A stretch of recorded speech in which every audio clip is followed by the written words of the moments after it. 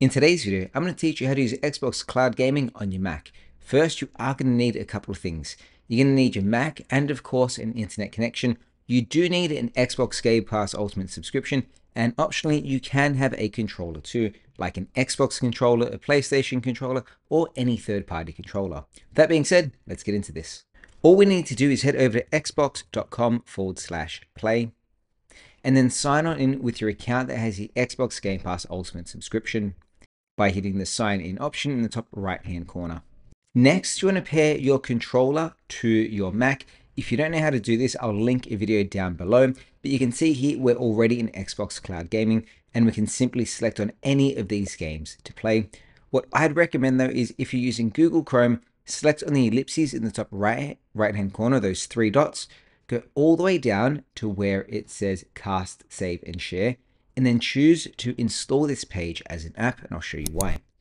It's going to ask you to install it as the Xbox app. We're going to select on install now. You notice that it appears in your dock so you can have really quick and easy access to Xbox Cloud Gaming without always having to go over to the website. It opens up in its own window and you can maximize this so you can start gaming with full screen. Then grab your controller, pick your game and start playing and it is that easy. I do want to take a second now to tell you about Fitness Hero. I asked Fitness Hero if they wanted to sponsor a few videos because basically all of mine and Ashley's gym equipment we've bought from these guys. They are a fantastic Aussie brand that ships Australia wide and it's made it so easy to wake up basically four or five days of the week head down to the garage and work out with some really high quality equipment that was also really affordable to buy. So check out Fitness Hero in the description down below. That being said, back to the video.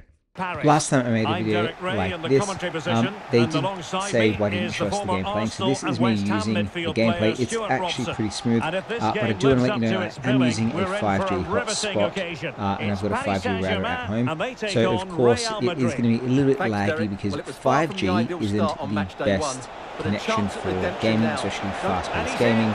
Um, but for me, with some casual light gaming, I really don't mind.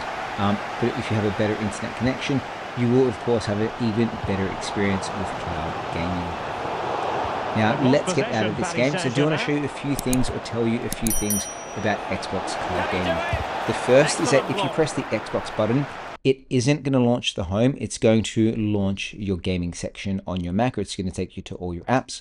What you want to do instead is use your mouse and go to the top left hand corner, select on the little hamburger menu here. Then you get the option of Xbox and you can go ahead and quit that game. Let's go quit. I feel bad for the person I just left. Uh, and then this will take you back into um, the home screen of Xbox Cloud Gaming. Another caveat with Xbox Cloud Gaming is at the moment or at the time of making this video, you can only use one controller, so you can't do two player. Uh, I don't know if this is a feature coming out later or not, but I do know right now only one controller at a time or one player at a time works uh, but that's okay if you're like me, just a bit of a casual gamer playing um, every now and then. In here, I do want to point out that you can search in the top right hand corner and you can look for any sort of game that you're after. And if it's on here, go ahead and play. You could be looking for something like Fortnite. So you can simply type in Fortnite, go ahead and start playing. You might be looking for Forza. If you can type, that's even better. If I select on the cloud gaming beta sign, this will take me back to the home and there's a few things we can do here as well. Of course, we can jump back in to some of the games that we were playing. You will see some of the hero games, the most uh, popular ones, announcements and things like that. Uh, if you scroll down a little bit, you've got the option of playing with friends. So this will show you what games that your friends uh, do have and games that they have been playing.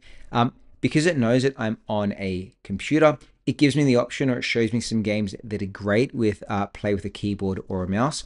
What you'll see in the bottom right hand corner of most games is either a uh, controller symbol or a little keyboard and mouse, and it tells you what they're optimized for.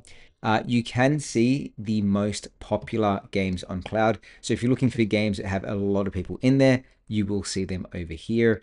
Um, and of course, you can stream your own games. If you buy games, you can choose to stream some of them on here. This is a new feature. I haven't tried it out yet. Um, and then you can see games that have been recently added to Game Pass. and of course, games that are leaving soon as well. Not every single game is on Xbox Cloud Gaming. And another way of sorting is, of course, using the genres down the bottom. Or you can simply scroll through, hit the see all, and you can see all the games that are available on Xbox Cloud Gaming. But there you go. That is how you can use Xbox Cloud Gaming on your Mac. I do like the tip of actually installing it as an app so it's really easy to access. It runs in its own little window and of course you can maximize it. Of course, if you like this video, let me know by giving it a thumbs up. And if you're in a super chat raise your computer, hit that subscribe button as well. Thanks for watching. We'll see you next time. Bye.